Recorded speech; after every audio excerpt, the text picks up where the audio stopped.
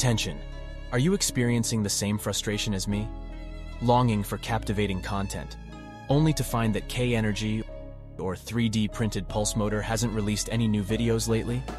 And let's face it, watching yet another hilarious cat video just doesn't cut it anymore.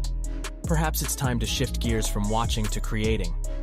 Have you noticed how K achieves those mesmerizing pulse motor signals by utilizing an Arduino pulse width modulator?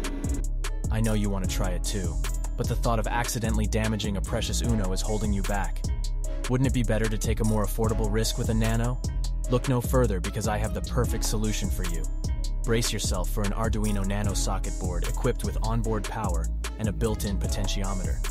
This incredible device is not only rechargeable via USB-C, but it also allows you to adjust the Nano's input voltage to suit your preferences.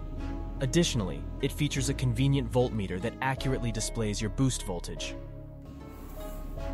I'll let this background footage play while I explain what's happening. It's quite easy to follow along. If you want to slow down the process, simply pause the screen. All the necessary parts for this project were purchased from Amazon. Here are some additional details about this device. The battery used is a lithium-ion battery with a capacity of 600 mAh, which is protected by a battery management system, BMS. The BMS output is connected to a power switch on the positive side, and then it goes to a boost converter. The output from the boost converter is used to power the Arduino Nano. To make the connections, you can connect the boost converter's negative terminal to the Nano's ground pin, and the boost converter's positive terminal to the Nano's voltage input pin. The Nano has convenient terminal boards for easy pin connections. This setup is perfect for any Arduino project. In future videos, I will demonstrate the various uses of this device. I hope you can see the value of this configuration.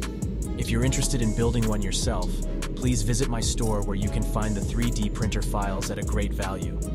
I'm even considering selling kits or fully assembled products for those who don't have a printer or prefer not to replicate these ideas.